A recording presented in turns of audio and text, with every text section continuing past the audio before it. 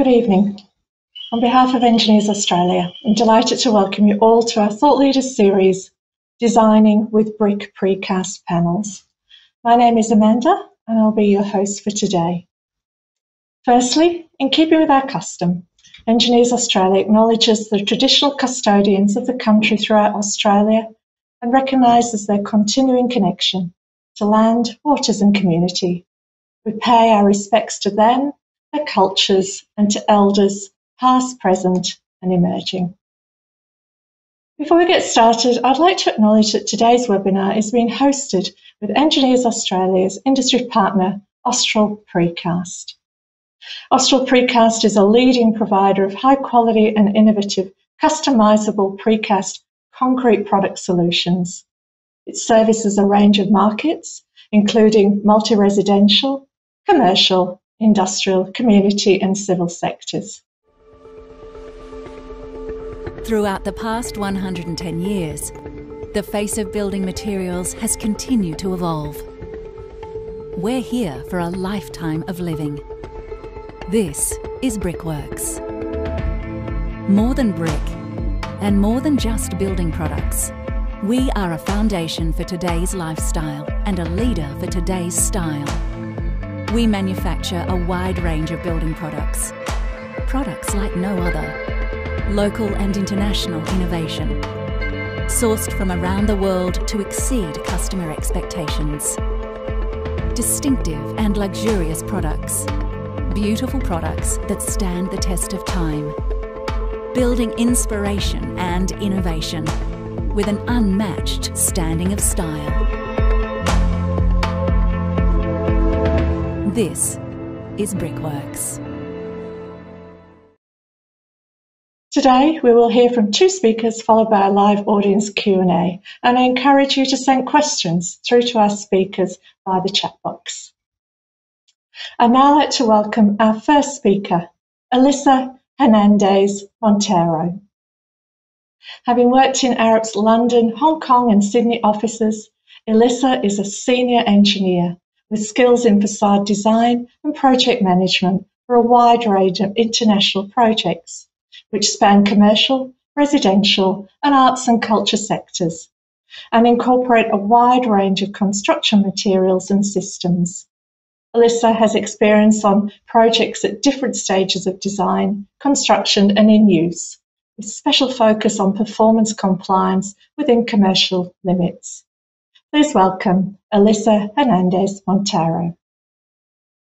Good afternoon, all, and thank you for the kind introduction. Um, so today I'll be going through um, initially specific aspects to, to be considered during early design stages when we're looking at um, the use of handset brickwork versus brick face precast. So before we get into the specifics of the use of brick face precast, uh, I thought I would just give a bit of an introduction around handset brick in, in, in itself. So historically, handset brickwork has been used for, for centuries. Um, and more recently, we're seeing it uh, used on, on projects such as stations, warehouses, as well as commercial and residential buildings, um, either in the form of new bricks or um, refurbishing or re- reusing existing brickwork. Um, on the screen in here, you can see an example of Coal Drops Yard in London, uh, where the existing brickwork um, from the coal uh, drop lines themselves was refurbished as part of the overall site redevelopment. Similar to Coal Drops Yard, um, we can see in here on the left-hand side uh, the example of St. Pancras uh, Station in London, as well as uh, one of the buildings in Tasmania University, where um, similarly to Coal Drops, the brick uh, facades uh, of the existing buildings were maintained um, and refurbished as the buildings uh, progressed in, in design um, and also as upgrades and changes were carried out throughout the years. It, so as can, as can be seen, the brick is a brick itself is a highly durable material, and it's currently undergoing uh, an architectural revival. So we fast forward to 2022, where uh, precast construction in general um, is being utilized widely in projects due to a series of benefits that we will go through in the following slides. Um, specifically, this includes the, um, topic of today's event, brick face precast. So before uh, we go and, and delve into the specific brick face precast design, I thought I, I, ju- I would just note that other kinds of finishes can be achieved with precast facades. Um, and in here, you can see examples on the left-hand side of terracotta face uh, precast panels in a project in London, as well as uh, stone face precast panels on the right-hand side. So this comes to show that precast as a, as a material can offer an infinite can offer infinite possibilities that can suit the visual intent. So after this brief introduction, I think that the first question that we, we might be asking ourselves is why should we be using brick face precast on our project? So there's a, a, wide variety of benefits and advantages from using a precast a construction in projects. So first, the panels themselves are manufactured in the factory, meaning that a tighter quality control is in place. This will result in uh, reduced risks from a, uh, a visual point of view, but also from a design and construction point of view, and an overall high quality product. Currently, panels uh, can be manufactured uh, locally in Australia, but there is an existing precast industry. And in here, you can see some images of a brick face precast panels being uh, manufactured on the left hand side. Um, also, an example of a brick face precast uh, project in London with picture frame um, type panels and infill windows. And at the bottom of that, you can see some uh, brick face precast panels being stored in the precaster's yard, awaiting to be delivered to site. Um, in addition to this, using precast panels also means that the, the cladding can be install, installed at a much faster rate on site. So on the left-hand side, uh, I've included examples of a more typical handset brick construction where initially we would need to install the, the bracketry to support the brickwork in addition to all of the, the components that will be located within the cavity itself, so any insulation, fire stops, etc. Uh, following this, the uh, individual brickworks would need to be hand set into position, which would require um, longer periods of time, time for installation. On the other hand, we have brick face precast panels, which, as I mentioned before, would be manufactured off site. They would then be delivered um, to the construction site itself, lifted and fixed in place, resulting in a much faster um, installation process as well as a much faster weatherproofing of the facade itself. This also means that there is a reduction in the amount of time spent working at height. So, it, of course, this is a benefit from a health and safety point of view. Uh, so, all of this can be achieved uh, by uh, without compromising the durability and achieving the architectural intent. Um, in addition to all of this, uh, precast actually offers quite a, a, bit of flexibility in terms of designing and uh, manufacturing. So first off, um, th- there's different support strategies that can be utilized whenever we're looking at brick face precast construction. Um, the first off is um, using panels which are themselves load bearing, so they become part of the um, of the support strategy of the overall building. And I will cover what the, the specifics of this are in the following slides. Alternatively, the um, panels can become similar to any other uh, cladding panels um, used in facades, where they are fixed and restrained back to the primary structure, but they don't necessarily add um, to the um, the support of the overall building itself. Um, in addition to all of this, and you can see in the in the geometry diagrams on the screen just now, there's different uh, shapes that can be achieved with precast panels. Um, you can achieve, for example, picture frame a, a picture frame geometry like the one on the top uh, right hand side, um, which also gives the, the added advantage of being able to install the infill glazing panels in, in the factory and for them to be transported all together on site and installed at a much faster rate. Alternatively, other geometries such as T-shaped, any linear, horizontal, or vertical uh, panels, as well as horseshoe, M-shape, etc., can be achieved with um, precast construction. So, in reality, the opportunities are infinite. So after understanding the advantages of a brick face precast, um, the, the next question might be, where do we start the design process? So first off, it's important to have a look at the relevant code standards and guides that are available to us to be able to define what this facade components will need to achieve and any specific requirements in terms of manufacturing, installation, etc. So locally, uh, there are Australian standards available which cover the individual components, uh, both the concrete and brickwork uh, elements of the of the build-up itself. So it is important to have a look at at those ones to understand locally what are the, the performance requirements of the, the individual components. Um, also, the National Code of Practice is available to us, uh, which highlights the um, the specific any specific requirements to be considered for precast concrete elements uh, within the building construction. In addition to all of this, uh, there's also international standards that we can have a look at um, and utilize in during the design process of brick face precast panels. Um, specifically, uh, we have seen the British standards and, Australian and American standards being used in the past, and they actually focus specifically on the, um, the design and manufacturing of architectural precast concrete themselves. Um, and then similarly, uh, we also ha- uh, have the International Manual uh, for Architectural Precast Concrete provided by PCI available to us to help during the design and manufacturing of this kind of construction. After considering the, the local and international requirements, uh, one can then start looking at the project specific uh, design intent um, for the building or, or project that we're looking at. So the first step will be to uh, understand the architectural elevations and to carry out panelization studies to understand what sizes the, the panels will be, how they can be designed, uh, what weights they will have, how they will be fixed, etc. So throughout all of this process, that one of the main aims will be to try to standardize the type of panels that are used, um, because this will help to reduce the number of precast molds and formwork that will need to be manufactured. But it will also result in a more efficient manufacturing process as well as a more cost effective solution.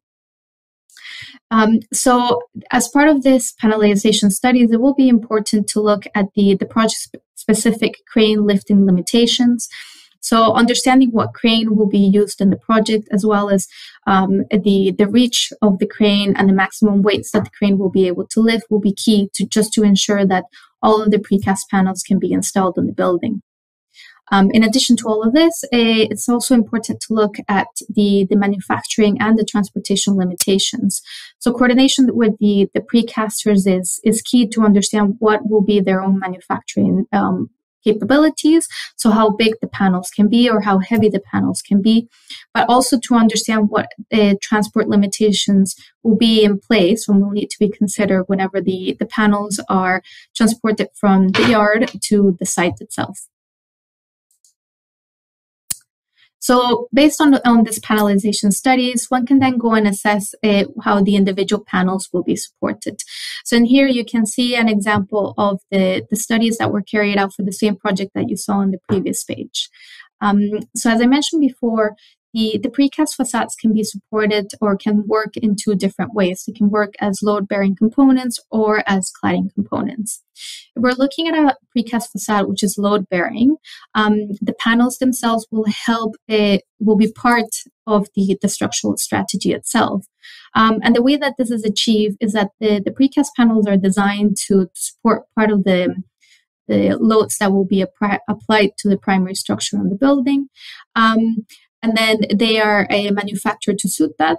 They're then delivered on site, and um, they are uh, fixed to the um, surrounding primary structure if made in precast panels themselves as a stitching connections, or if, say, the, the slabs or the slab edge uh, beams are, are cast on site, the, the panels themselves will incorporate a series of, of bars on the back of them, which will be then connected to the reinforcement cages of the, the slab and the um, slab edge beams. And then it will allow for a full connection to the, the primary structure whenever the concrete is poured for those components.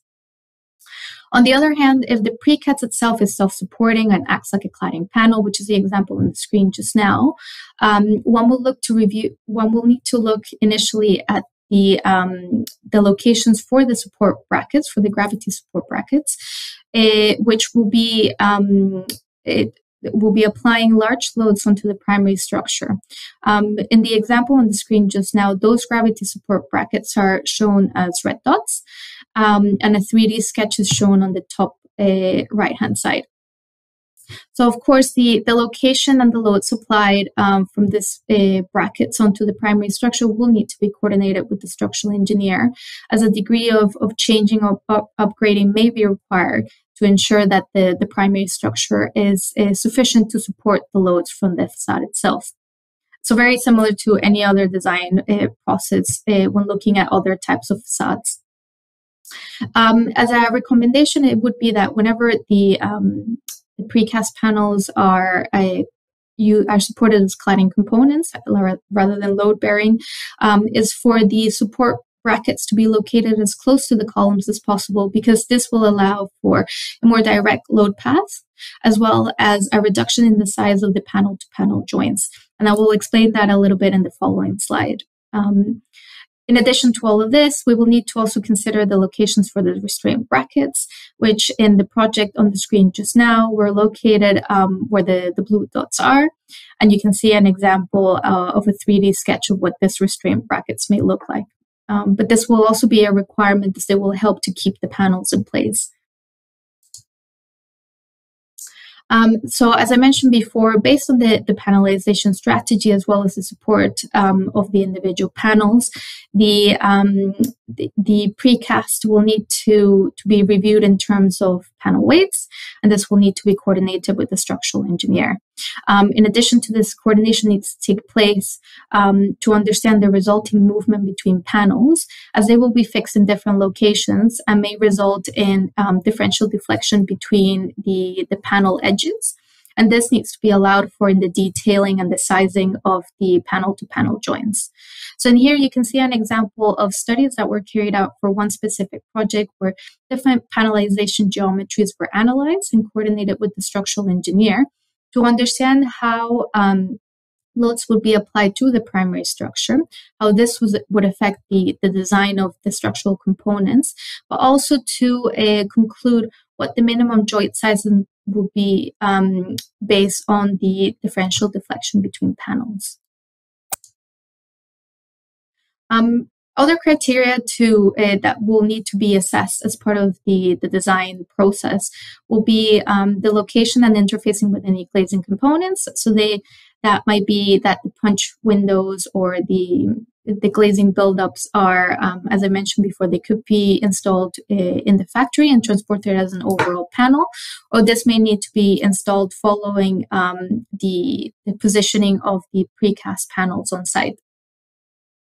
Thermal requirements are also important, especially nowadays with a more stringent thermal performance requirements of uh, facades and buildings. Um, and specifically looking at the um, at the installation location, the type of insulation that is used, with special consideration on, on fire performance, um, as well as the overall buildup um, of the insulation and, and the thermal line. Um, air seal location will also need to be defined um, with the aim of trying to reduce the risk of any um, condensation within the buildup itself. So, of course, an assessment needs to be carried out for the, the location of the project that we're working on.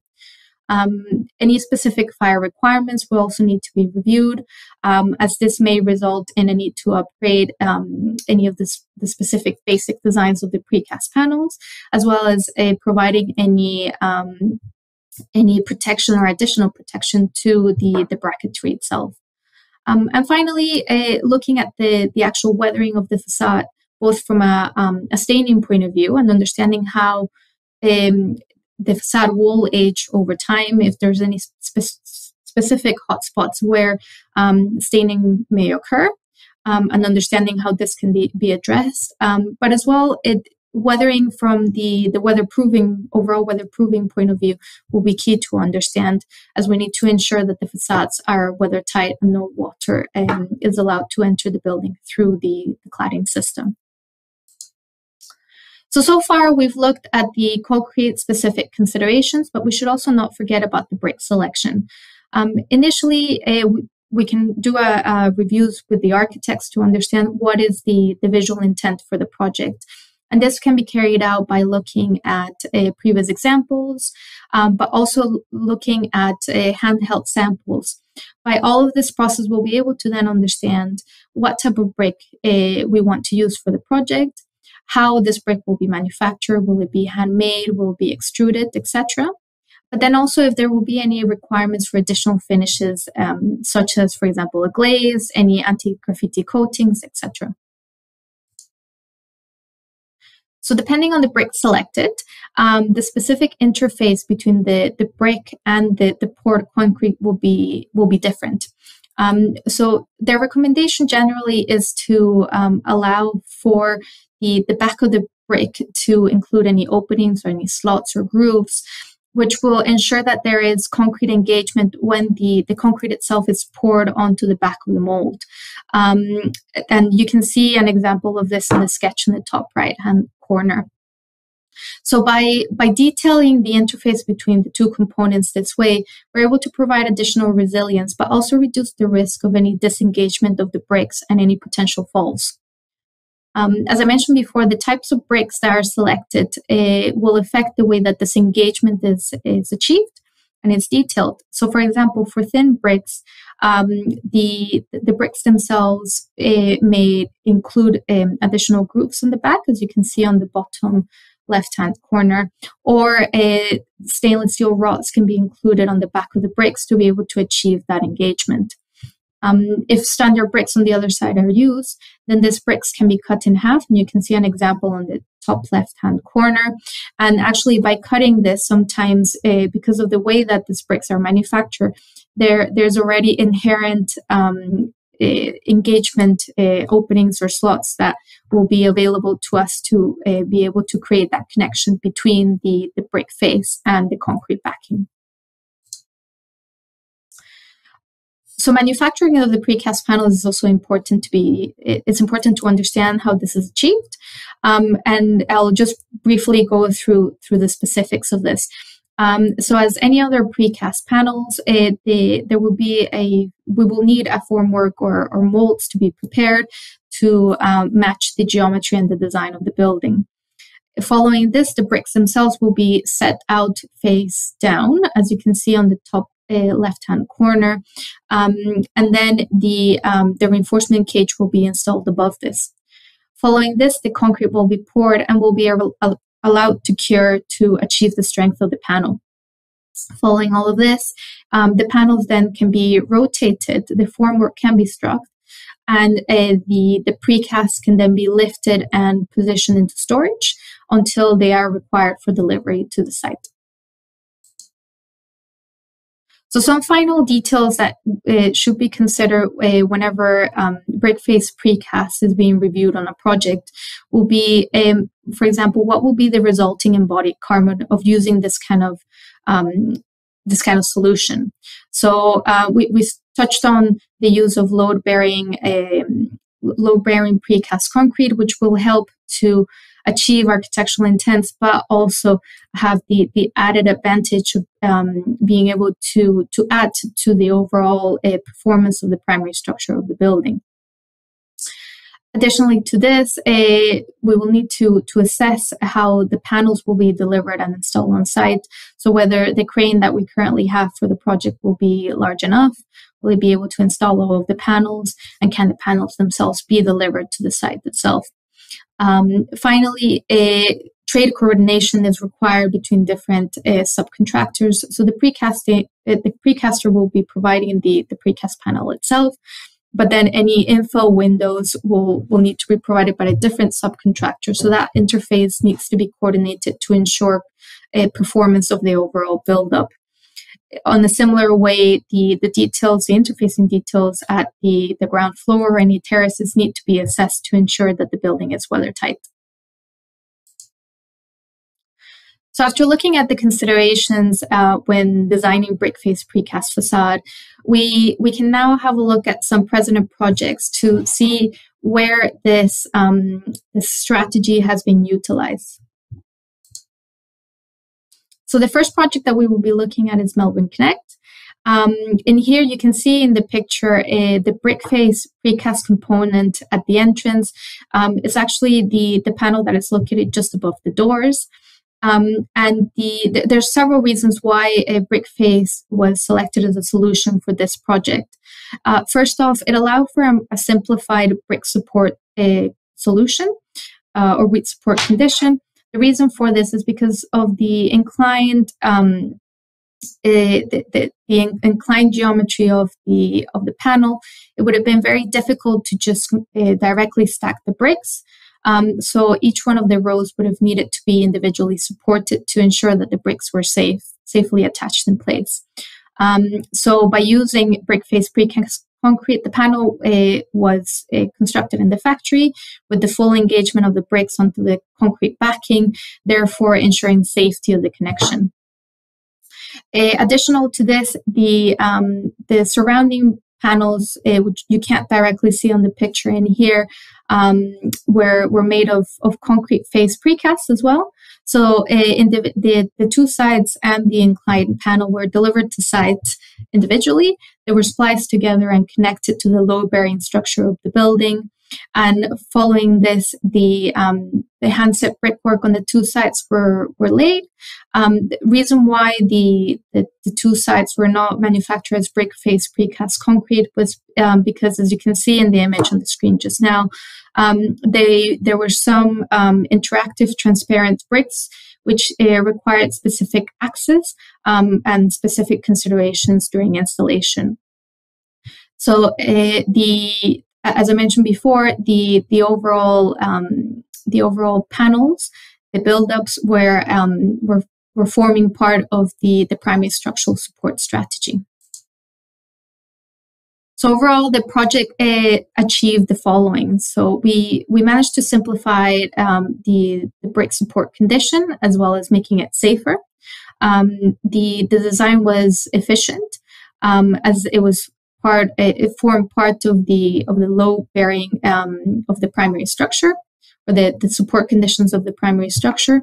And it also as you can see provided visual consistency between the brick face precast components and the handset um, elements. And overall it, it's a high quality result so the second project that we will be looking at is Arden Station, uh, which is one of the new uh, Melbourne Metro stations uh, being constructed. Um, as you can see from the architectural render on the screen just now, um, the, the design intent or the architectural intent was to have a very large open space um, with the underside of the arches being made or achieving a brick finish. So, due to the specific setting out, as I mentioned, the large space, um, as well as the stringent structural and security requirements for the project, handset brickwork was not really an option in this in this condition. Um, so, for this reason, the use of brick face precast was selected. So to achieve the, the project intent, the arches, which you can see in the image in here, were divided into three uh, individual panels. So obviously they were all manufactured off-site, individually transported, and once delivered, they were uh, fixed together to form the overall arch that you can see on the screen here, but also to create the connection to the vertical components themselves. Um, an interesting detail about this project uh, is that due to the, the, the stringent security requirements, um, there was actually quite a lot of thorough testing carried out on the, the brick engagement uh, onto the precast concrete. Um, so yet again, to highlight the importance of, of having a strong connection between the two elements of our uh, brick face precast buildup. Uh, the project is currently under construction, so we're hoping to be able to to soon be able to see the finished result. And the final project that we'll be looking at is uh, Plot A, A included within the Television Centre development in London. Unlike the, the two examples that we've looked at so far, um, and due to the specific project restrictions, it was not possible for the brick face precast panels in this project to be um, utilized as, as load bearing. And therefore, they were designed as cladding components. So they were self-supporting and they were directly fixed to the primary structure of the building. Um, specifically, the facade was made of M-shaped panels Um, and as I mentioned, they, they were supported back to the primary structure in a similar strategy as we, we saw pre- in the previous slides. So Brickface Precast uh, was selected on the project for um, several reasons. So first off, it eliminated the need for any uh, scaffolding to allow for external access. Um, it also allowed for fast installation of both the precast panels and the punched windows in between, and therefore uh, a very fast weathering and enclosing of the building. And it also ensured a tight quality control under factory conditions. Uh, as an interesting uh, final thought on this project, so following the success of of the of of the building, um, the developer has actually asked that for any future projects incorporating a, a brick finish, for brickface precast to be considered as much as possible, as they were very happy with the results in the project. So I hope that with this short presentation, you now have a better understanding of the details to be considered at early stages when looking to use brickface precast facades.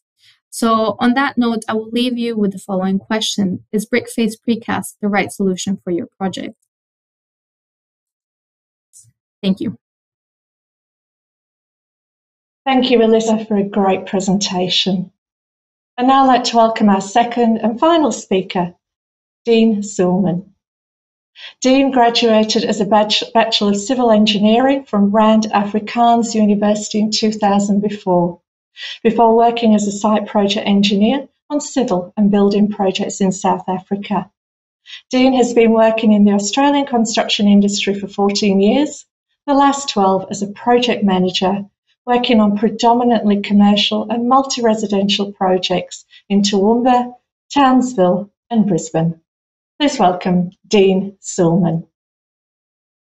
Thank you very much, Amanda. Uh, appreciate being here, and hopefully we can shed some light on uh, this new case study. So we're going to be talking about my first project involving brickworks and the precast uh, panel bricks at 465 St. Paul's Terrace.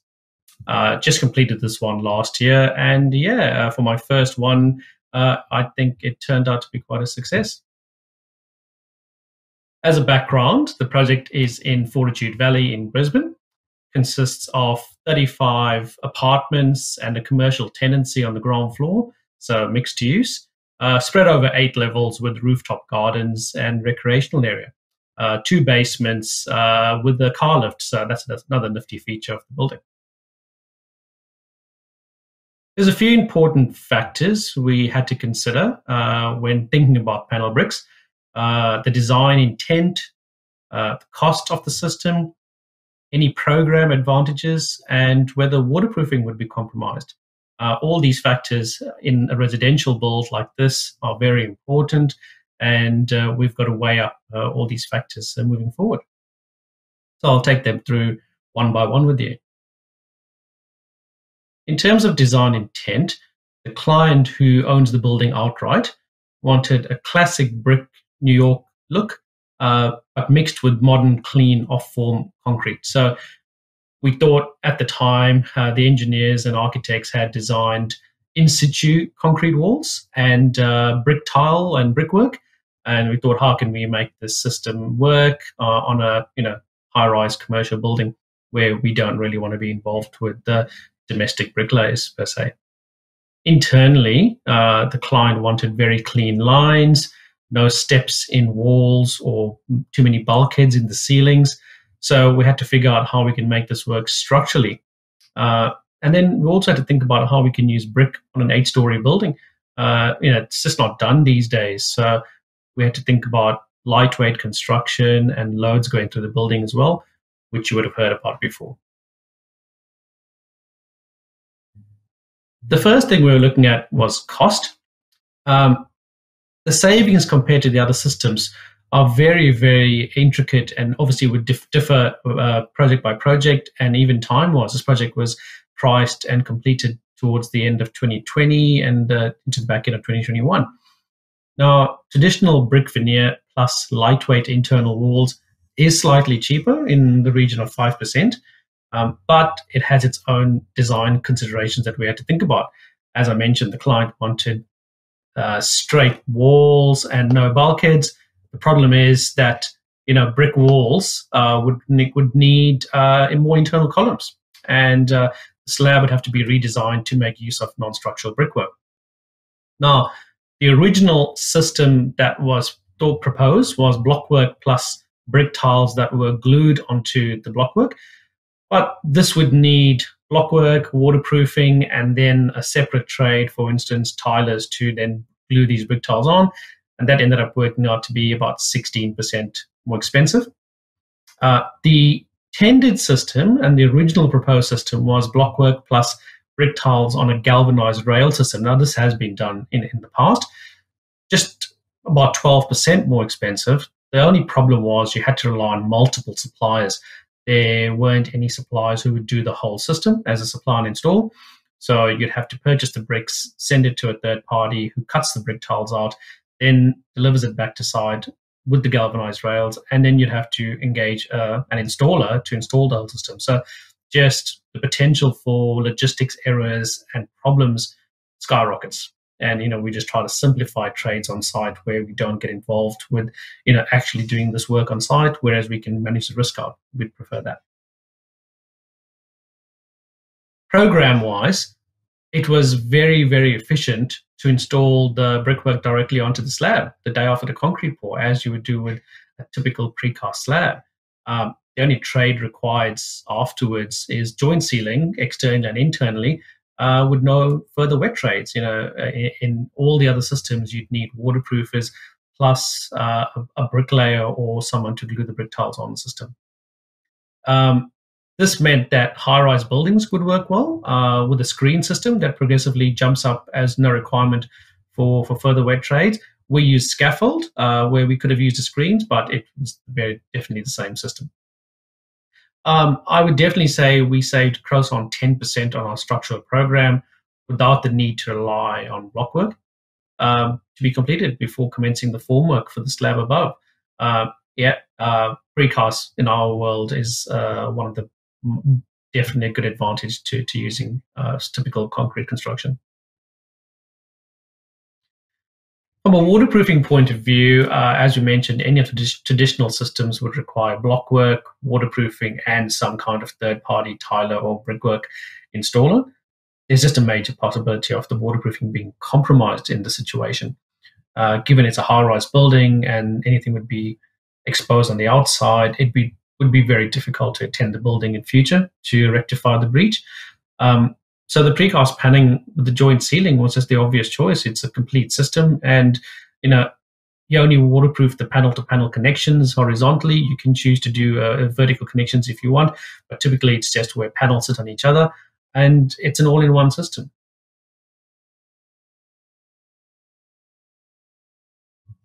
on this project, we uh, typically had about 87 brick panels uh, that we worked on. They were on average 200 mil thick. Now, that was uh, 180 mil structural panel plus the 20 mil brick layer. Total square meterage was around 700 square meters uh, at a cost of close on $400,000, which worked out to $571 per square meter. Now, that's a pretty pretty good price from a precast panel point of view. Your typical precast rates at the moment are around 400 to 450 dollars per square meter. Um, and you know we paid a premium for the brick panels, uh, but at the time we we weighed up program versus the quality outcomes that we were getting, and we were very happy with it. Uh, we had about 270 tons of panels and an average of three tons per panel uh, to all eight levels uh, as you can see, you know, we worked really well with uh, Austral Precast on this project. It was their first time running the uh, brick panel system in uh, Queensland, and uh, yeah, we were privileged for them to try it out for us, uh, try it out for us, and uh, we we worked really well visiting their factory, trying to get a, gauge of what they would look like. They sent us a few sample panels. Um, we also, you know, engaged the client, engaged the architect to visit the factory uh, it was it was a first, and we had to make sure that what we were giving the client was uh, what they had expected. All in all, as I can uh, attest, the project was a great success. The client was happy with what they received, and we were happy with what Austral Precast had promised us. Um, but there obviously are some lessons learned. Um, with everything, you know, you basically will move forward and improve the systems. What we found was the shop drawing process was extremely detailed. Um, you need to allow enough time for procurement and shop drawings to take place and a lot of coordination between architects, engineers, Austral, and uh, your builder. Um, it's going to be a, a, tough one because uh, on a brick panel, every single panel was fully modeled with each brick piece uh, modeled, and we had to basically get the layout correct. If you start off your first panels on level one incorrect, by the time you get to level eight, uh, that error gets compounded, and the bricks will just not line up uh, the way you want. You need to think about corner bricks. You need to think about bricks around window openings. Are they going to be uh, detailed as a, a sill brick or any other detail? You need to think about joint sizes. Uh, also, how bricks go over the top of panels. We had bricks, uh, panel bricks, uh, over on our roof level, uh, and unfortunately, you know, uh, it's a it's a constraint of precast where you couldn't put bricks in and pour it uh, at, the, at the top of your panel because that's where your lifting lugs have to go. So we came up with a solution. Austral Precast left certain bricks out where the lifting lugs uh, would go, and those panels were lifted in place. And later on, we had uh, the lifting uh, panels then bricked in again, so they really looked like they were never there. How would you protect your brick tiles during construction? That's something we, you know, learned uh, along the way. We had a few panel bricks that uh, after they were installed, just trades walking past or uh, putting tools on near them, just chipping away.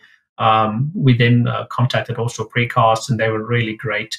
Uh, came out and inspected, and where they could, they repaired uh, little pieces of bricks. Um, but I would suggest that you know you don't damage anything larger than a full brick. Just just uh, it'd be very difficult to uh, to repair. Um, something that you know we don't really think about too often is the joint sealing. You know, when you do uh, precast concrete, your joint sealing is typically grey, and uh, it's dependent on the type of uh, color of concrete you're using in your panel bricks. Uh, we used uh, typical uh, normal grey concrete for our panels, um, so we had a grey joint, and you know we tried joint sealing the joints between panels in grey and because the joint's slightly larger, about 20 mils compared to the brick joint of 10 mils, they just stood out. Um, and they stood out because they were shiny gray joint sealant. Um, we then ripped those out after doing a few lines and changed to a color that matched our bricks closer. And uh, yeah, the, the difference was remarkable. We uh, we definitely uh, learned our lesson there, and I'd say try to match the joint the joint color to the color of the brick. I mean, the last lesson that I would say you need to think about is the client expectations. What do they want? Are they expecting uh, a clean brick building? Uh, are they expecting it to be a panel or a hybrid in between? Um, you know, our client was expecting brickwork, um, and we spent a long time in design phase trying to uh, uh manage those expectations. Uh, and when they, you know, looked at the building and uh, when we finished, they were amazed, and you know, people still drive past and uh, I take visitors there all the time, and they don't believe that it's uh, a brick panel. They, they think we did some brickwork up there, and uh, I'd like to keep that illusion going. Uh, so, all in all, I'd say it was a very fulfilling project. Uh, I would say um, do your homework, uh, make sure you can work within your budgets, work with your design engineers and architects, and also just check with your client and, and, make sure that's something that they want. I appreciate giving the having the time to talk about the project, and hopefully we can do a few more uh, moving forward. Thank you very much. A big thank you to Dean and Eliza for two great presentations at tonight's Thought Leaders Designing with Brick Precast panels. It's now your turn to get involved, so please ask our speakers questions via the chat box, and if you can, who you're directing your question to. Also, a big thank you to everyone who took the time to send questions through whilst registering for today's webinar. I might start with you, Dean. Uh, we've had a question that's come in from Benjamin, and Benjamin is watching from New South Wales. Good evening to you. Benjamin's question is What are the relative pros and cons to this system compared to precast concrete panels, aka tilt up panels? Dean.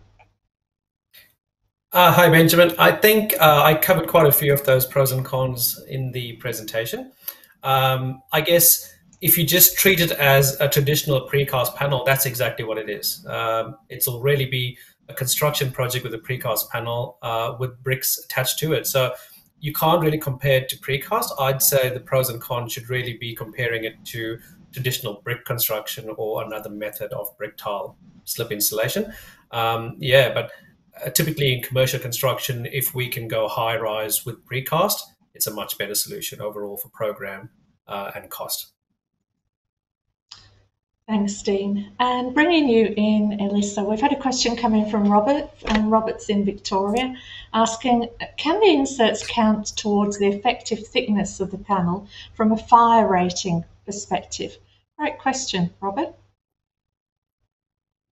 Yeah, great. Thanks, Robert, for the question. Um, I would say that your your best approach would be to consider the um, the concrete component when looking at the fire and also the structural performance of the panels themselves, because at the end of the day, the bricks themselves are, are almost let's call them a veneer attached to the to the panel.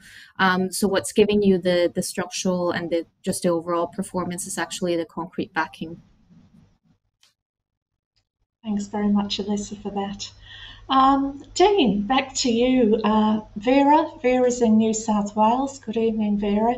Is asking you, Dean, are there any special waterproofing requirements or do you follow standard precast waterproofing? Dean. There's been quite a few questions on uh, waterproofing, Amanda. Uh, and I would say in our project, because we had load bearing precast panels, we followed standard precast waterproofing. So what we did was waterproof the horizontal uh, tops of precast before the next panels were put down, uh, and that's just best best practice. There are a few other methods you can use, like water stop or waterproof your vertical joints. But at the end of the day, it's it's up to each uh, project, and there'll be some nuances uh, on each one. And I guess follow your architectural details and your relevant codes of practice as well. Thanks. And uh, I'm assuming that covers off Jake's question, who's also watching from New South Wales, who asked, how do you ensure the panels are waterproof for weatherproofing? Um, Dean, um, have we covered that? Yes, I think uh, there have been quite a few waterproof questions, and, and that would cover it. It would really be uh, referred to your standard standards and codes of practice and ensure your building is designed. And it also covers your FP 1.4 uh, facade report for the building. So it would make sure that your building is completely watertight before you move forward with the design. Thanks, Dean, for that.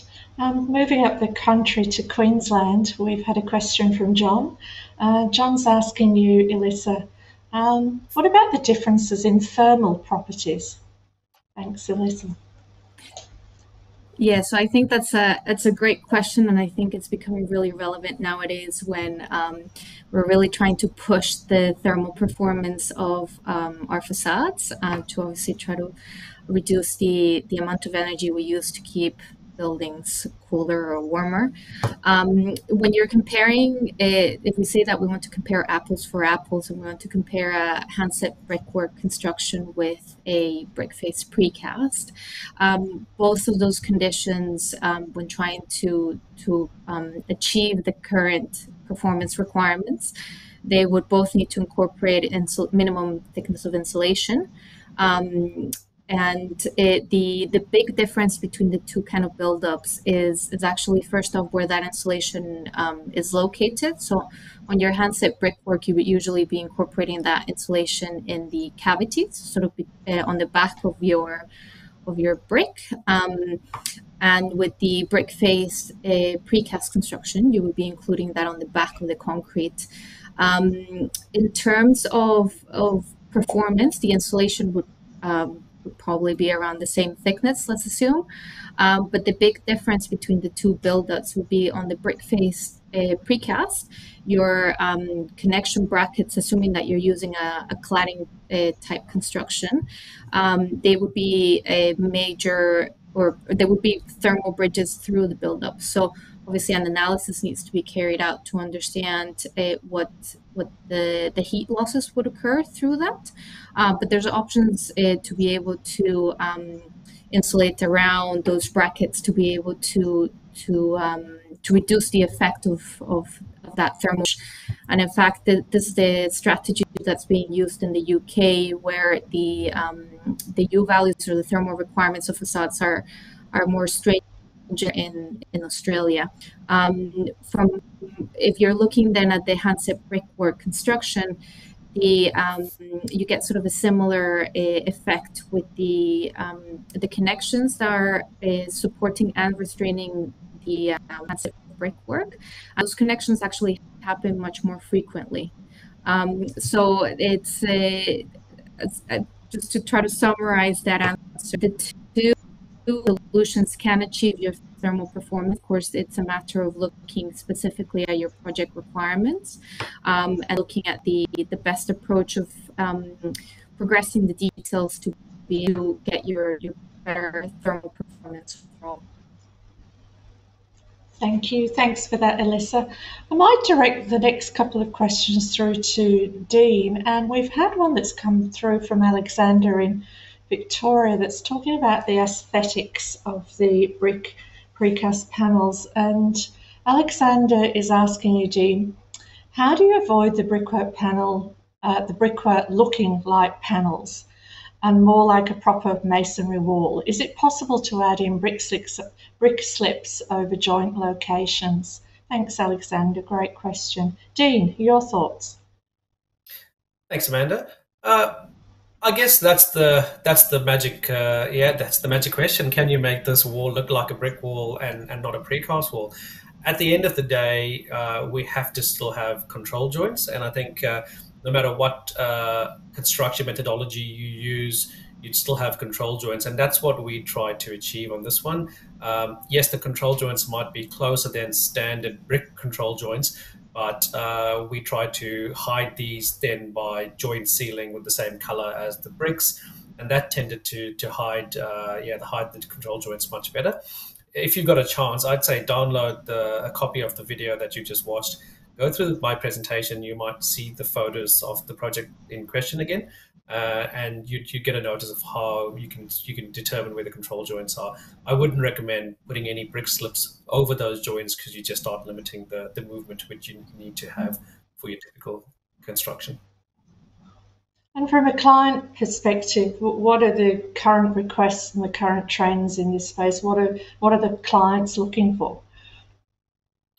I guess the clients are looking for something different. Um, they obviously would not just want a standard uh, brick-faced building. They were going for nifty little details. We had uh, a picture frame window with a precast span spandrel beneath it. Uh, Austral precast, in this sense, actually created the entire panel in one mold. Uh, uh, the brick panel was built in one, and a sawtooth pattern on the spandrel as well uh, we had a typical uh, picture frame window, which was quite skinny and, and narrow. So I guess um, it, it, the only way you can uh, differentiate yourself is by being a little bit unique. And uh, there will be some curveballs thrown the engineers' ways, but uh, a pretty good company like like Austral were, were, quite onto it in terms of the modeling and the engineering behind designing these precast panels to work while building. So that collaboration piece is important, and maybe for all stakeholders to be involved up front. Um, we hear a lot about that at Engineers Australia. Do you think that does does that hang true for for, for what you do, Dean? Yes, yes, definitely. Um, this project was a design and construct, and I was lucky to be involved quite early on, since I think the award of tender. Uh, and I had quite a lot of uh, yeah meetings with the engineers, architects, and then eventually with Austral Precast, once we let them on board um, and we took it from zero to, to, to go to O, um, it was great uh, to work with them. Uh, a lot of collaboration required. Thanks, Dean, for that. And just circling back to the panel joints, we've had a question come in from Greg to you, Dean, again, asking, can you elaborate on the makeup of panel joints, how the drain and any redundancy recommended in the system? Thanks, Greg, for that question. Uh, Dean. Yeah, perfect. Um, I would say uh, if we just thought about this panel joint as a standard precast panel joint, then we'd stick with the same detailing. I guess I have no experience with uh, the precast brick as a cladding system only with a load bearing wall behind it. Uh, because we use this as our load bearing wall, these panels were actually installed panel to panel uh, with the rebate in for the slab. So we had the slab connecting into these panels at every level, which was you know a, a better way to go about it. For us, it was more conventional precast con- concrete construction that way. And yes, we had to waterproof our joints we had to fire rate our joints because obviously that's an external wall as well. So because we had multi-use apartments, uh, we had multi-level apartments, so we had to basically fire rate level to level and across each individual apartment horizontally as well. So from our point of view, it was traditional precast construction with the added bonus of uh, brick tiles uh, stuck onto the outside of the panels. Thanks, Dean. And poor Alyssa's having a few technical issues, so I'm going to have to ask you to work a little bit harder tonight, Dean. And um, I do appreciate that. Let's hope we can get Alyssa back um, shortly. I think she's coming back soon. Um, I might move to a question, a really interesting question that's coming from Richard. Uh, good evening to you, asking you, Dean.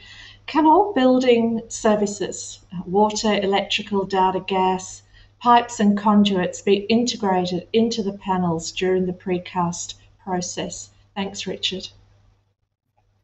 I've never, um, I've never had that happen before. I, I guess you could. It would take a lot of coordination to to integrate your services into a precast panel, uh, and I would say well, I'd rather stick to not doing that and keep the panels as structural panels. Yes, uh, if they were cast on site, you could have uh, your service trades running pipe work into it, but being a precast panel cast off site, um, the panels would need to be joined up and you'd need to have all your pipe work connecting in. So if you treat it as a standard precast panel, you probably wouldn't do that uh, in the normal case. So I wouldn't do it with a, with a brick precast panel either. Thank you. Thank you for that, Dean. And Alyssa, welcome back. Good to have you back.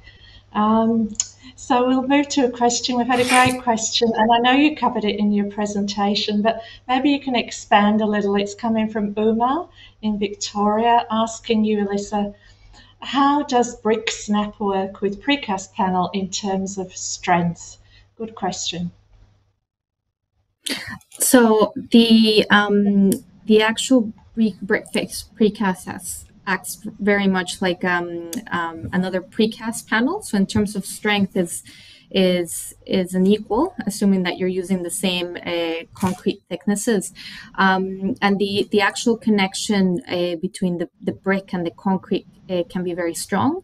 Of course, the specific project requirements um, may require a for um, a stronger connection between that brick and, and the concrete. And I covered that briefly for one of the president's projects um, I discussed. So th- there's different options. It, the definitely the the main thing is to make sure that there is that engagement between the back of the brick um, and the, the concrete itself when it's poured um, and if we have a project where more stringent requirements are in place then uh, looking into incorporating any um, any rods on the back um, that can give us sort of that extra strength in the in the connection. Thank you for that, Alyssa. And just staying with you, we've had a question from uh, Arsenal in New South Wales, and this is an interesting question it's talking about longevity. Um, and he's asking you, Alyssa, are these brick face panels approved by the New South Wales building industry to use? Um, what about its longevity, water leaking, or any other weather related damage, which, with all the um, floods, etc., that we've had, I was going to ask you later as well, um, any impact on this type of construction? Thanks, Alyssa. Um, so I think when when we're looking at the brick face precast panels, um, again they they're very much they would behave as a, a, a fair face concrete finish precast panel. Um, so in that respect, the um, the durability is is very similar. Um, whenever we we are um, building brick face precast panels um, and looking specifically at the um, at the performance of that connection, I think we've covered that as well, and and looking more into the the weatherproofing um, around the the joints. Dean has has touched on on a couple of uh, solutions. I think they were very good. Um, what's what's quite key, and definitely in my experience, is looking at what the what standards. Uh, what the standards and the guides uh, recommend in terms of detailing. There's there's different options. I've had projects where um, we we we include say uh, two seals of silicone within the construction, and of the joints.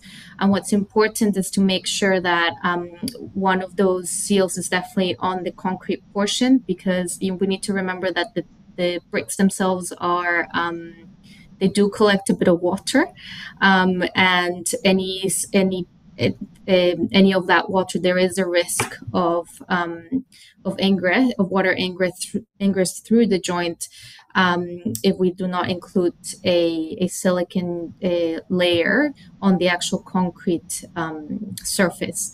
Uh, similarly, the, there's other solutions where you can include um, baffles within the construction. And what I've seen in the past is that it many times is is uh, it's a matter of discussing this with the with the precasters because um, they will have the, their own preference in terms of systems and detailing. Um, and I think ultimately uh, what we recommend is for for a offsite weather test if, if possible for the buildups, but definitely looking at doing on-site testing, uh, for example, hose testing, which we would usually have, say, for unitized curtain walling facades. Uh, but having that that um, on-site testing will give us the ultimate assurance that the, the detail has been installed uh, correctly and that it will be um, performing over time.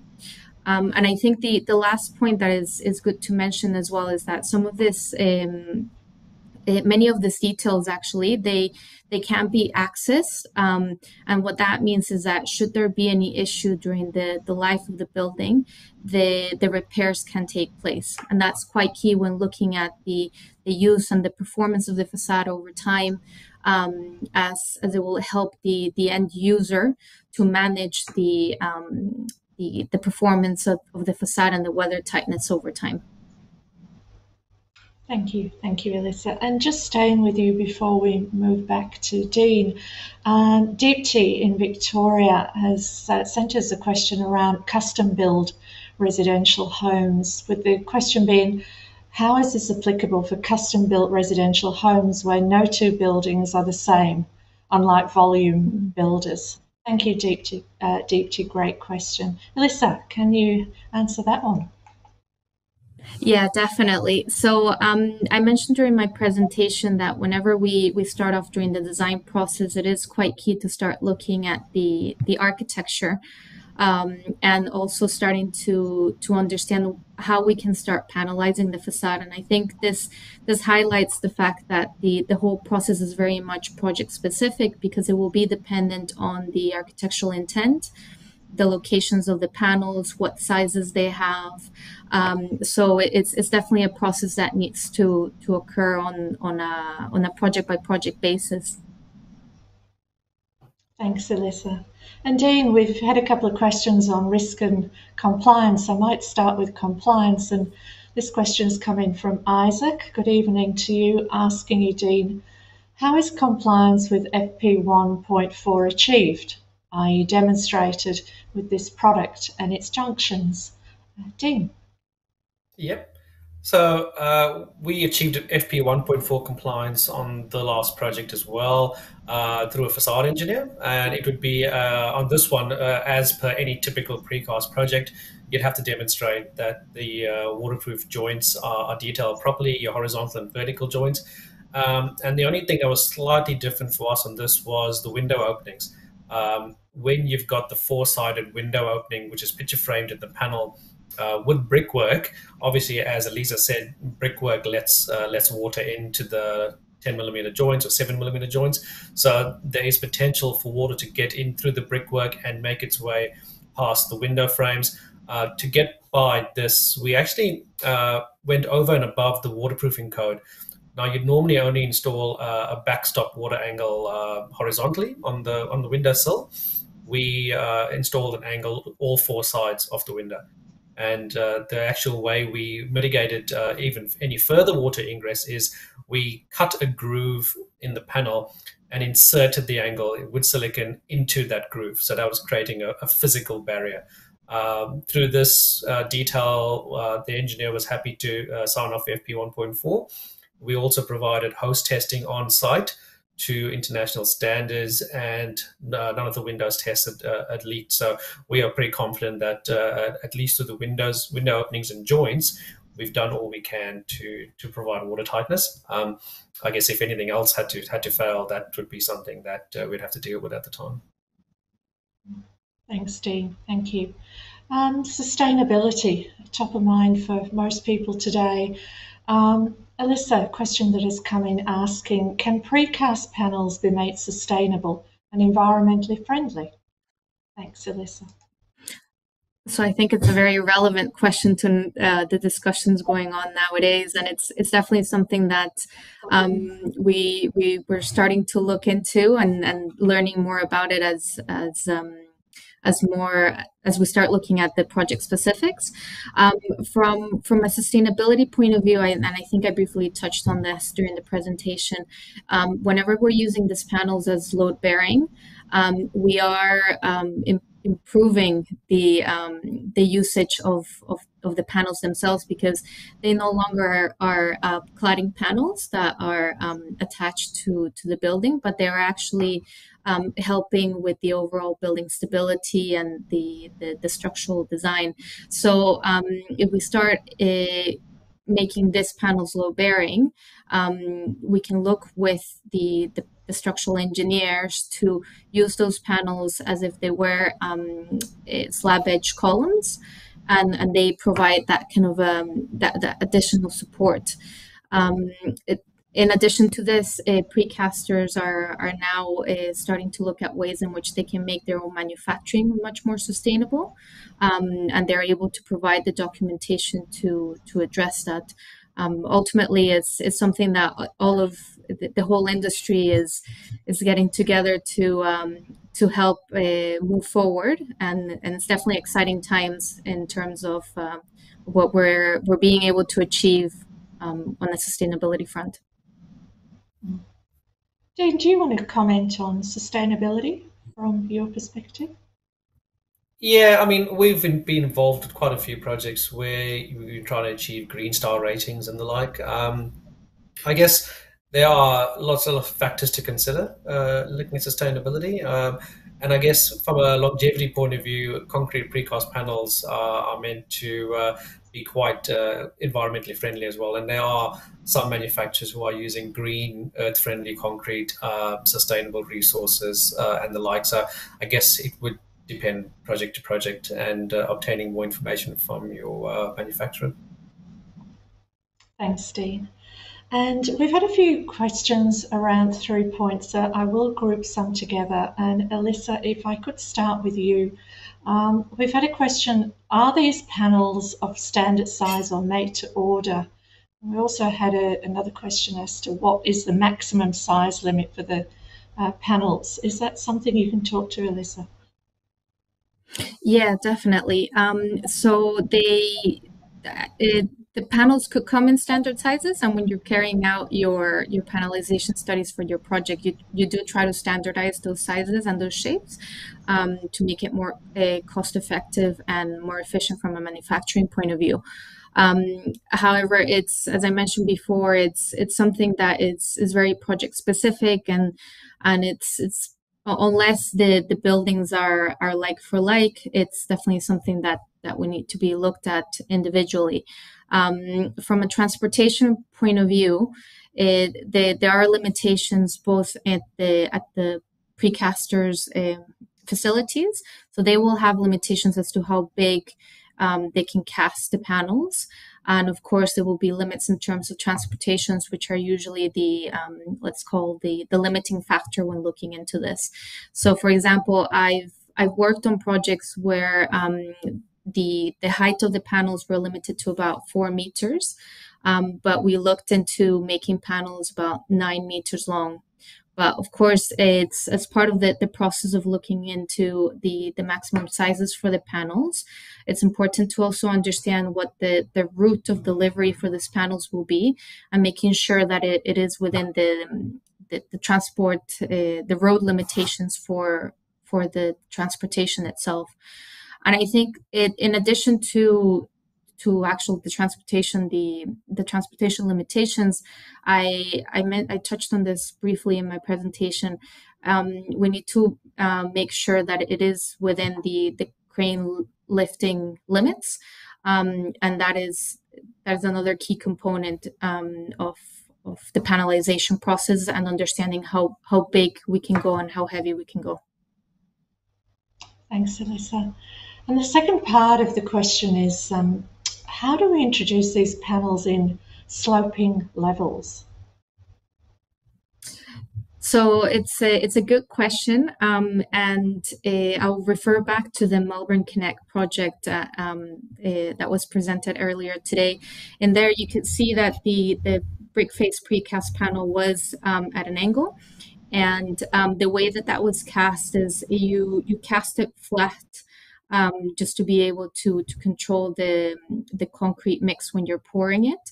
Um, so it's it's the precasters are quite smart about around the ways that they can cast this, um, and I think if definitely having flat surfaces is is a plus, um, and it makes it much easier. So I think even if we're looking at, um, at elevations that are at an angle, um, there's ways in which we can cast them on a flat surface and then being able to then um, transform that onto a, a, a sloped uh, facade. Thank you. And just one more part, and then I'll let you take a breath, Alyssa. Um, third part is what's the wall material composition? Um, so in the brick face uh, precast panels, we would have a, a thickness of the brick. Um, many times that is dependent on the brick that is selected. Uh, so I know Dean mentioned before that in, in the project he worked in, um, they looked at, at, bricks which were 20 millimeters thick. Um, I've worked on projects as well where, where we go maybe to 50 millimeters thick for the brick. Um, many times is related to using a standard brick and, and cutting it in half. Um, and then the, the concrete itself, it needs to be designed based on the, the structural requirements. Um, on projects where, where we have a panels behaving as, as cladding components rather than load bearing. The, the thickness of the concrete was uh, between 120 and 150 millimeters. Um, but then if you're looking at a load bearing brick face precast construction, it will be subject to the specific engineering requirements of the building. Thank you, Alyssa. And circling back, we had a compliance question, and now Wessel is introduced. Um, Risk, good evening to you. Dean, Wessel is asking about cranes. Um, risk introduced used to handling on site. Um, were our cranes involved? Yes, there's always risk when handling precast panels, and that's something we've got to deal with.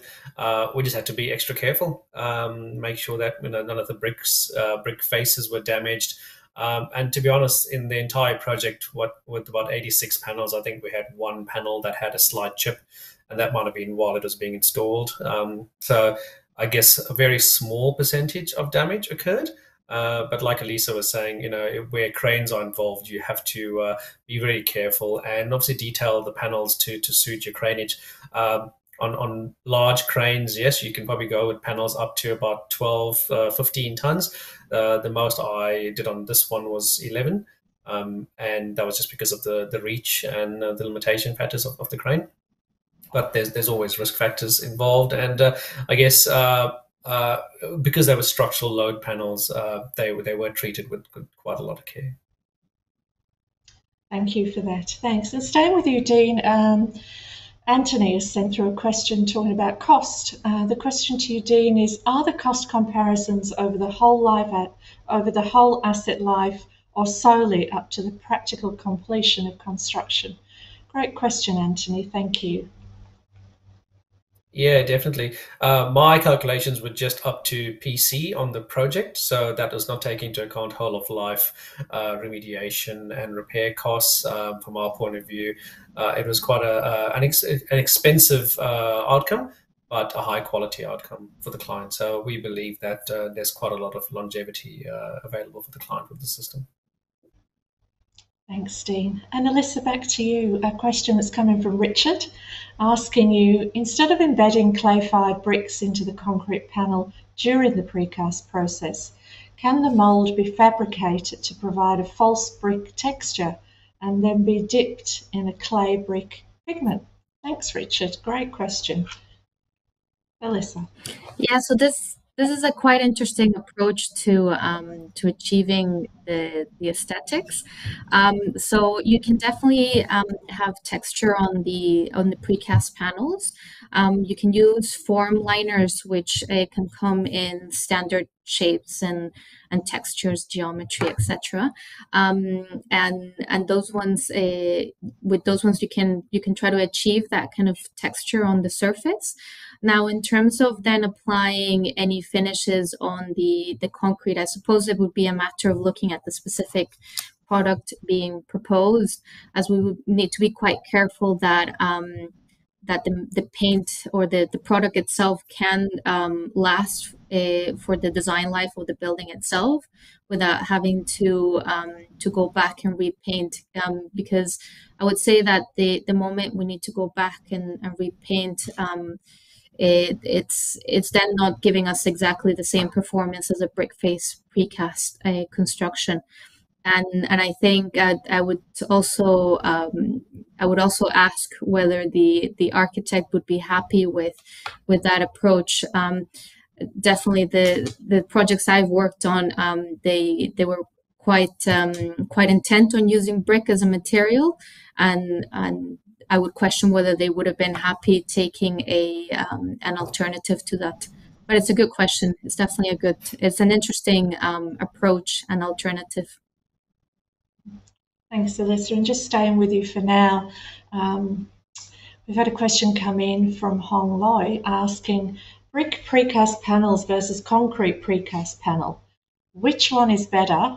Which one is a better deal in terms of cost, durability, buildability?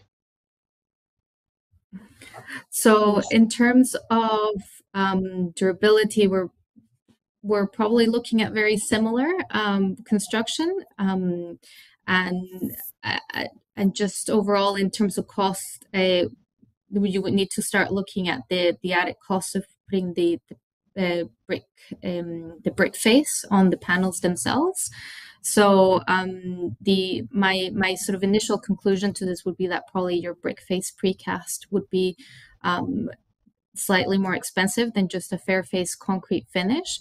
Um, but uh, at the end of the day, the, the two options will be giving you a different aesthetic. So ultimately, it would be a matter of, of understanding what the, the architectural intent is and what the client's expectations are. Thank you. Thank you for that. Um, and Dean, moving on to fireproofing, uh, we've had a question to you. Can you please explain about fireproofing sealing? Yeah, so uh, if you treat these as standard precast panels, the fire rated joint sealing has to be done as per code and as per any other panel. Uh, so nothing, nothing different there.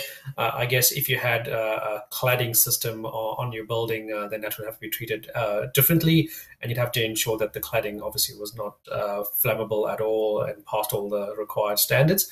but yeah, typical fire rating was pretty simple on this one with joint sealing. Thanks, Dean. We've had a question coming from Hans, who's obviously in a happy mood because he's put a smiley face in there. Thank you for that, Hans, and good evening. Um, Hans is asking, what is the weight for panel for an inst installation point of view? Is that possible one on T? Is that you, Dean, or Alyssa?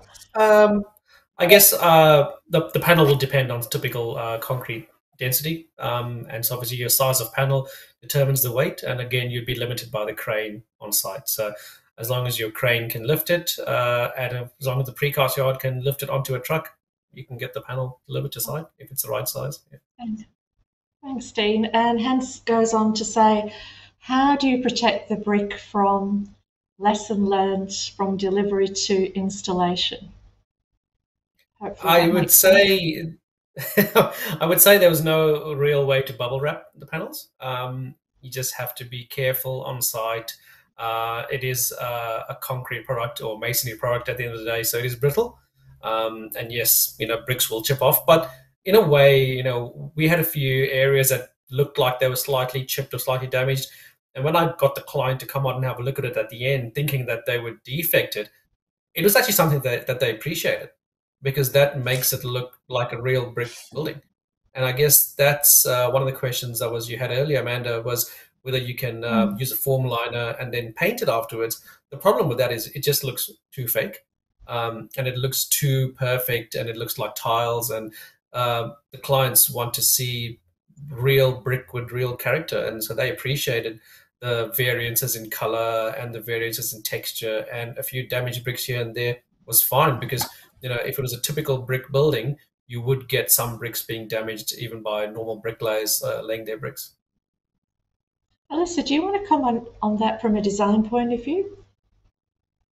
Yeah, definitely. Um, I think the uh, whenever we're looking at uh, the the panelization uh, studies for the building, we we usually um, want to try to re- uh, limit the the weight of the panels to about ten tons. So this very much aligns with the, the feedback that Dean was giving before. Um, and then in, in terms of any damages to the um, to the precast panels themselves, it, it's it's a good question and, and it's it's very similar to to any other kind of facade. We it's a matter of of um, controlling the the transportation conditions as well as uh, post installation protecting the facades themselves. Um, as a as an interesting additional bit of information the the project that uh, the last project that i presented actually uh, we had a couple of issues with some of the bricks in that um, in that facade and the the strategy that was agreed with the contractor was that um, whenever there were uh, those those chips that were unacceptable to the architect and the client uh, those bricks were, were removed and they were replaced with new bricks. Now, um, the replacement bricks incorporated a series of, of rods stainless steel rods on the on the back, and they were grouted onto the um, the precast panel itself just to create that strong bond. Thank you, Alyssa. Thank you. That was a great explanation. Um, looking at a whole of life approach, a question coming in from Juan Louis. Good evening to you. Asking you, Dean, what kind of maintenance requirements are expected to be associated to the brick face precast panels? I would say, and this is obviously uh, determining by different manufacturers, but no maintenance from our point of view. Uh, we gave the bricks uh, a good scrub and a clean uh, on the way down. So as we brought our scaffold down and uh, we had the capability to do, we gave the bricks a scrub and a wash um, just to get rid of any construction dust uh, and debris. Um, but there shouldn't be any requirement to to wash in future. Um, the bricks will have character, gain a life of their own, and fade and change color with time. And uh, yeah, um, it, it, that'll probably a totally different building in four or five years. But that's the nature of uh, of brickwork. Thanks. Thank you. Um, we are coming towards the end. Uh, a question from Stephanus asking you, Dean, why don't you just use a mold with a brick motive rather than actual bricks? Yeah, I just I think I covered that question a little while ago, but that's exactly why we we want the character of brick. Um, and we've found in the past I have used form liners, and even on this project we used form liner for a few different areas. You can just tell that form liner is is fake. Um, just doesn't look like brick, doesn't feel like brick, and uh, the color will never match what you're trying to achieve. It'll be too uniform if you dip uh, the panel in, in a color. And as Elisa mentioned, you have to determine whether that panel uh, can actually accept that color, whether there's future maintenance uh, for that for repainting in future. Because once these uh, panels start to the paint starts to fade and starts to peel off, you will then yeah become really noticeable. So if you want to go with a brick finish, uh, I would say go with a, a, real brick finish, a traditional brick insert or a, a brick slip. And a couple more questions, but uh, one again for you, Dean. How does the precast system compare with traditional in terms of potential for brick reuse and facade disassembly? I would say uh, uh, the system that we use, which is a load-bearing panel, there is no disassembly uh, going to be achievable on this because these panels were intrinsic into the structure of the building. and definitely no brick reuse. Uh, these brick slips manufactured by Austral are specifically made for uh, precast panels. They aren't just a straight brick slip, they've actually got a dovetail uh, on the rear, and that dovetail uh, protrudes into the concrete and provides that that bond that Lisa was talking about earlier. So where some panels had, where some bricks had stainless steel rods or holes or grooves, these had a dovetail that that went into the reinforcing and then stuck into there. So you will not be pulling these brick slips out of the panel at all in the future. Thank you for that, Dean. Thank you. And I just want to finish up on talking about obviously, there's a lot of exciting things happening. Australia's in, in the midst of one of its biggest construction booms um, of all time, if not the biggest. And just for all our young engineers that are coming through and people involved in the infrastructure sector, I just wondered, starting with you, Alyssa, if there's some advice you could give them. And I've kept that question uh, deliberately broad. I think it's just, uh, as you mentioned, Amanda, it's, it's quite an exciting time to be working in construction. Um, there's definitely quite a lot of of a um, new of new solutions coming up um, as an answer to to the sustainability discussion. There, there's quite a lot of digital tools happening. So I think it's definitely keeping keeping an eye out for for what other people are doing, uh, trying to learn from that, and um, and definitely just. Uh, yeah just as learn and and as much as you as you can just because the the the industry changes over time and and it's i think it's one of the beauties of working in construction. Thank you. Thank you. Dean do you want to bring us home? Yeah thanks amanda. Um, I, I, guess i've got a different viewpoint as well. I, I i'm an engineer but i went straight into contracting thought i'd give it a few years and then make my way back into design i just loved contracting and um, ended up staying on site uh, and love what I do. I love getting my boots dirty every day. Um, but I guess for any young engineer, make sure you're passionate, uh, love what you do, and if you find a niche market or a niche trade you want to explore, uh, just pursue it with a passion um, and never stop learning. And I would suggest any design engineer who wants to gain more experience on site as well to spend quite a bit more time on site. Uh, speak to the uh, site uh, site managers, project managers, foremen, uh, the guys on the tools. Uh, they will really help you and explain how things can get built. Um, you know that you might not be aware of. So sometimes that buildability factor comes into it and, and is really important in the design moving forward. Wonderful advice. Pursue with passion and never stop learning. And I think that applies to all of us and uh, our senior engineers as well.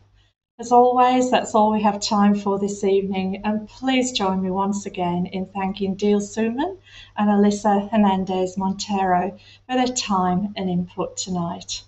I'd also like to thank Engineers Australia's long standing industry partner, Austral Precast, for their ongoing support. If you could take a couple of minutes to complete a short feedback form, which is linked in the description box below, this helps us improve and plan for future sessions.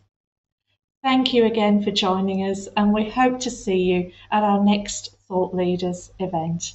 Thank you and good evening.